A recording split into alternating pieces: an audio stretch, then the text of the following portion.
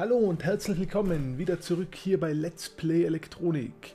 Wir hatten letzte Woche ein wenig Theorie zum Thema Spulen und werden die Theorie heute noch ein wenig mit toller Praxis vertiefen. Ich habe hier nochmal, wie letzte Woche schon kurz gesagt, einen Kupferlackdraht und ich habe hier auch ein Stück Metall. Das heißt, wir gucken uns heute mal dieses Magnetfeld an, das sich innerhalb der Spule aufbaut und was man mit dem Magnetfeld machen kann und was das Magnetfeld mit uns macht.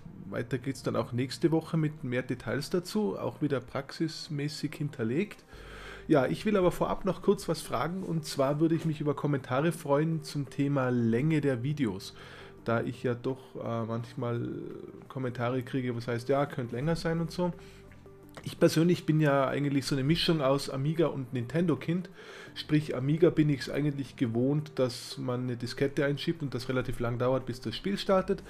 Und auf der anderen Seite habe ich natürlich einen Nintendo, den ich mal früher hatte und da steckt man die Kassette rein und das Spiel läuft sofort. Deswegen bin ich eigentlich der Typ, der so YouTube-Videos, die länger wie vier bis fünf Minuten dauern, eigentlich irgendwann keinen Bock mehr hat, die anzuschauen. Und da wollte ich jetzt mal einfach euch um Kommentare bitten. Wie seht ihr das? Ähm, sollen die Videos länger werden oder ist die Länge so in Ordnung?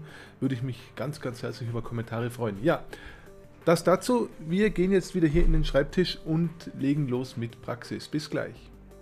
Wenn eine Spule in ihrem Inneren ein Magnetfeld aufbaut, müssten wir damit doch ein paar witzige Dinge anstellen können. Auch wenn es was mit Strom zu tun hat, Magnetfeld ist Magnetfeld. Und daher versuchen wir jetzt einfach mal einen Magneten, ach ja, hat damit Strom zu tun, ähm, einen Elektromagneten zu bauen. Dazu nehme ich eine Schraube aus Eisen und wickle ganz ganz viel Kupferlackdraht um sie.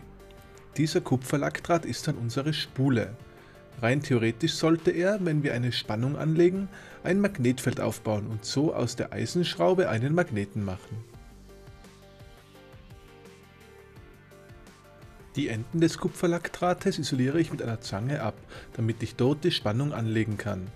An den Klemmen liegen 24 Volt an, die brachial auf 2 Volt zusammenbrechen, da die 2 Ampere Strombegrenzung greift. Dieser Strom induziert unser Magnetfeld und sorgt nebenbei dafür, dass die Spule warm wird.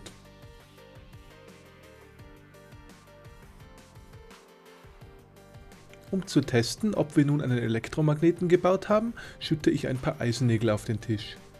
Wie man hier sehen kann, werden diese von der Schraube angezogen und fallen wieder auf den Tisch, wenn ich die Spannung ausschalte.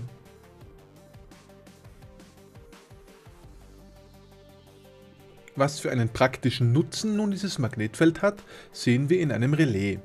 Dort zieht das Magnetfeld den Anker an und öffnet bzw. schließt so die Kontakte.